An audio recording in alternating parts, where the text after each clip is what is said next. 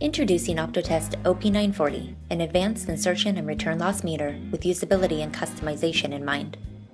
With a brand new color LCD screen and redesigned user interface, the OP940 was designed to improve the customer's experience without sacrificing any of the quality that Optotest has become known for.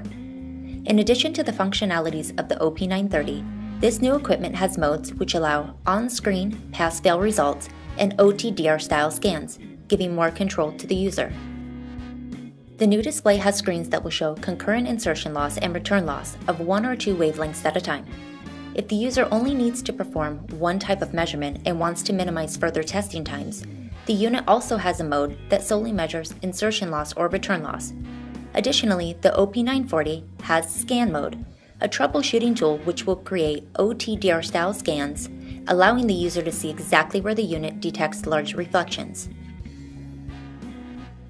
The new front panel design has a removable panel for the source connector, allowing the customer to repolish the front panel connector if it gets damaged, saving valuable downtime in production.